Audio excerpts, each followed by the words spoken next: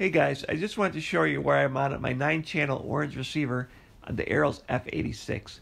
As you can see, the battery compartment is pretty small in here, so what I did was mount it directly on top of the vector gyro and ran the wire towards the back. Now there's plenty of room for the LiPo up front. After performing a radio range check, everything looked great, so I don't think there'll be an issue with the receiver mounted on top of the gyro. I'm really liking the build on this airplane. Seven screws, it's all put together. Radio setup is really easy too. If you guys have any questions, just ask in the comments. As always, thanks for watching.